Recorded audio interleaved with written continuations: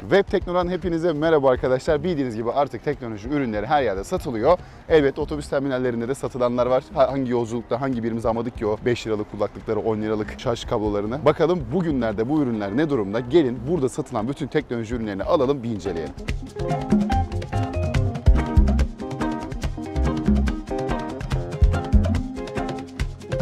Tek inovatif bu geldi şu an bana.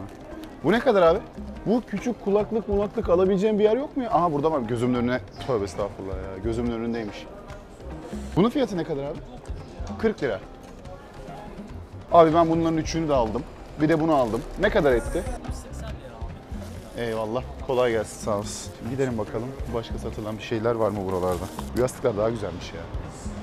Aha dur. Şunun fiyatı ne kadar abi? 75. Bu da normal kablo. Bu ikisi ne kadar abi? 270. 170. Ben sana şöyle vereyim. Teşekkürler sağ olasın. Kolay gelsin. Abi kolay gelsin diyecek. İçeride mi? Kulaklık alacağım diye girdim. Bir tane Bluetooth hoparlörümüz olmuş oldu. Şimdi ne yapacağız? Başka bir şey kalmadı. Bir dolaşalım bakalım. Varsa farklı bir şey alırız artık. Valla bütün paramız bitti arkadaşlar. Hatta iki tane kek alalım dedik Mami ile kendime. O da yokmuş. Paramız yine yetmedi. Yarısını ben yiyeceğim, yarısını Mami yiyecek. Hadi gel. Ofisimize geldik arkadaşlar. Seriden bir boşaltalım. İlk aldığım şey otogara girdiğimde yastıktı. Önce buna bir test edelim. Biraz kalsın bakalım durduğunda canımızı acıtıyor mu? Şimdi otogarda bizim ihtiyacımız ne olur arkadaşlar? Şarjımız bitmiştir. Bir şarj aleti alırız. İki tane aldım. Birisi işte micro USB, birisi Type-C'ymiş. Şöyle bir özellik bir şey farkı var mı ona bir bakacağım önce. 39 grammış, çalışma sıcaklığı 35 dereceymiş. Bunlar standart zaten. Bakalım gerçekten öyle mi? Göreceğiz şimdi. Burada birbirinden farklı bir şey yok. Renkleri farklı. Bunlar zaten birebir aynı. 100 santimmiş. Bakalım doğru mu? Bir şey söyleyeyim bir tık bir farkı var bir tanesinin. Niye farkım var ya? Bak şurası birebir arkadaşlar. Birebir tutuyorum gördüğünüz gibi. Buraya geldiğimde birebir bitmiyor. Şimdi micro USB'ni arkadaşlar nasıl şarj ettiğini görmek için bir telefon aradım ofiste. Ama artık bayağı bir eski tip kaldığı için çok öyle telefonumuz kalmamış. Biz de zamanında bir asker telefonu almıştık. Hala cebimde durur. Hatta bakın jelatindi şu an. Sizin için açıyorum. Şöyle bir takalım. Evet. Tak diye bir anda şarj olmaya başlaması peki.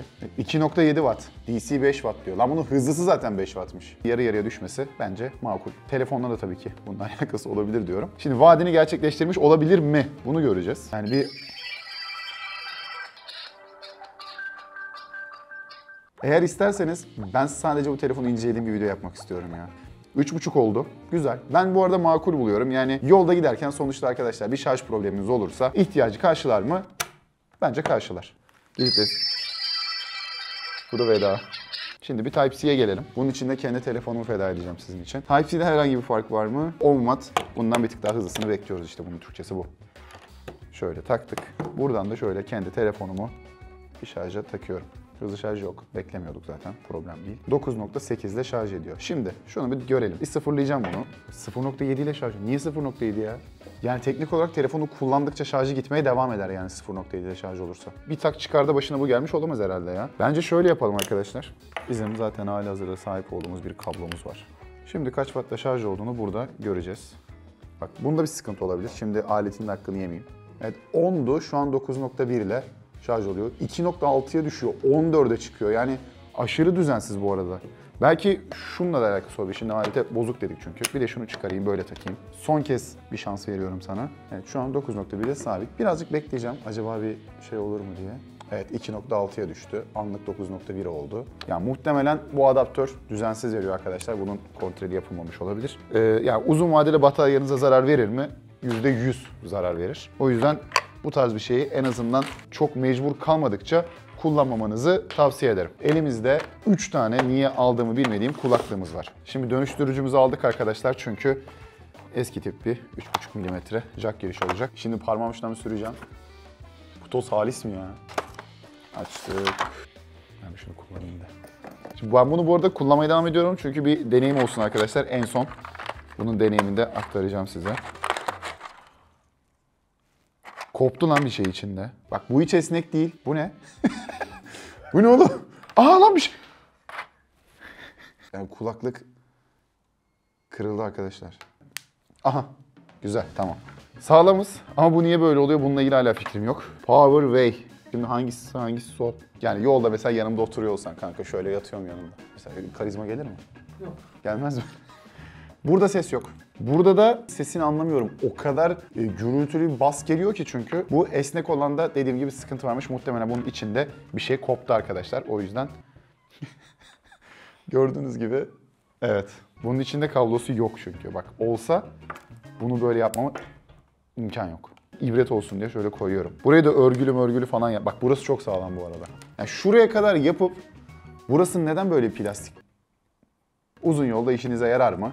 Böyle sağa sola dönerken şuradan mesela şöyle geldim sıkıştırdım kulağımdan düşmesin diye diyelim ki. Bu esner yani bunun başına bir şey gelir kesin. Bu arkadaşla olan işimiz biraz kötü geçti. Bir de garanti belgesi varmış. Göndersem ben bunu garantiye böyle. Eğer isterseniz garantiye göndereceğim. Geçelim bir diğer kulaklığımıza. Şu hoparlörü bu arada çok merak ediyorum. Çünkü abi bunu dışarıdan saklamıştı. Kutuların içi boştu.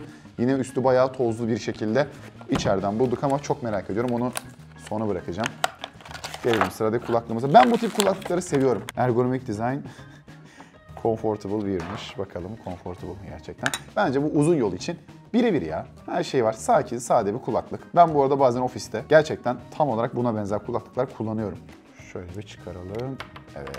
Her zaman hepimizin bildiği, en az bir kere kullandığı bir girişi var. Şöyle takayım kulaklığa. Ha, bununki daha sert bir yapıda. Şimdi bu sayede kullanmadan kopartmak istemiyorum. Tam deneyimi. Ulan Elektrik çarptı. Ben bunu kullanmayacağım. Kusura bakmayın ya da kullanayım ya. Buraya kadar getirdik bir kullanalım. Yani yine tabii ki çok büyük kalite beklemeyin ama ben buna yol geçirirdim mesela yani çok da sorun etmezdim. 40 liraya aldım arkadaşlar. Eskiden tabii ki şu gördüğünüz kulaklıklar 5 liraydı. Bunlar da en fazla 7,5-8 lira oluyordu.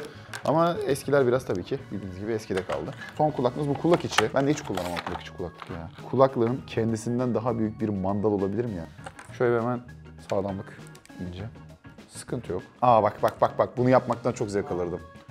Şimdi bu kadar ya. Kalanını siz böyle yırtarak açıyorsunuz.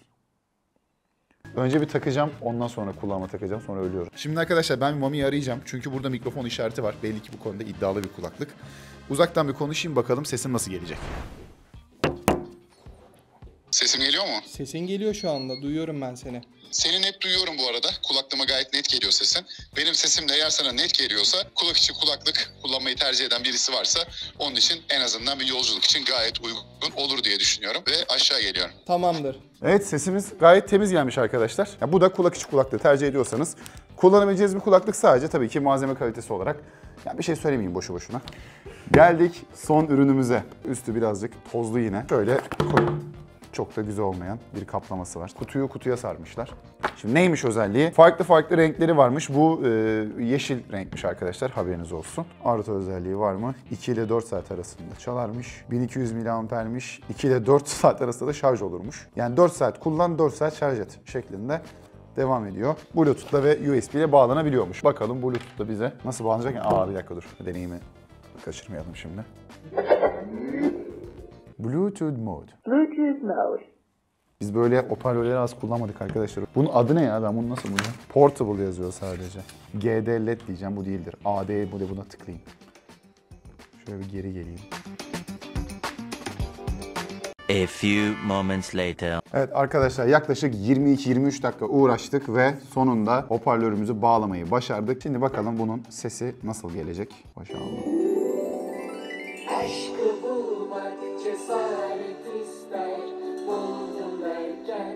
Hani şey vardır ya arkadaşlar böyle bir plastik kokusu vardır hani.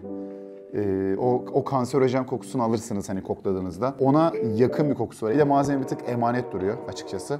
Şöyle biraz hani tam bastırsam kırılacakmış gibi de korkuyorum aslında. Şöyle full ses yapalım bir.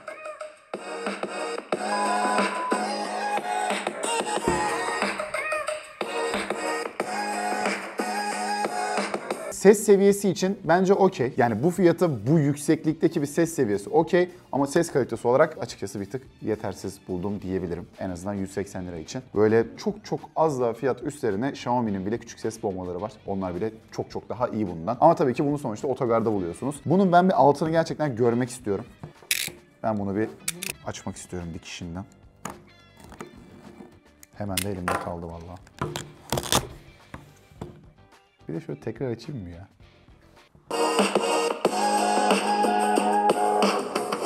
tam şunun içinde hoparlörünü görebiliyorum arkadaşlar. Burada da var ama bu yana kaymış. Yana düşmüş yani buradaki hoparlör. O... Normalde bunun tam karşımda olması lazım ama diğer yöne doğru bakıyor. Ha bunu tabii ne önemi orası ayrı da. Hatta şunu da bir açayım bakayım. Bunu da kullanırdık lan bunu da. Direkt karşıdan bana bakıyor. Bence okey bu arada ses yine de veriyor. Sen bunu otogarda alıp ne yapacaksın? Orası ayrı bir dünya. Bununla yapan bir şey varsa Allah aşkına söylesin ben de öğrenmiş olayım diyorum. Otogarlarda, otobüs terminallerinde satılan teknoloji ürünlerinin az çok kalitesi, durumu, boyutu, fiyatları bu kadardı arkadaşlar. Bunun dışında sizin otogarlarda böyle karşılaştığınız acayip ürünler varsa bunu da lütfen yorumlarda belirtin. Aa evet bir de yastığımız var tabii ki. Uzun süredir boynumda herhangi bir terleme olmadı bu arada ama sıcak tuttu bu arada onu söyleyeyim muhtemelen içi elyaf dolu olduğu için. Ama yani şu tam boyun tarafını sarmadı ya. Yolda uyuyorsanız alın. Ben uyumadığım için böyle şeyleri tercih etmiyorum. Bunu ofiste belki kullanırız diyorum. Bunun dışında başka nerelerde satılan ürünlerden alalım. Buna da lütfen yorumlarda belirtin. Fikirlerinizi bekliyoruz arkadaşlar. Tabii ki bunların dışında kanalımıza abone olup videomuzu beğenirseniz de çok seviniriz. Bir sonraki videoda görüşmek üzere. Kendinize iyi bakın. Hoşçakalın.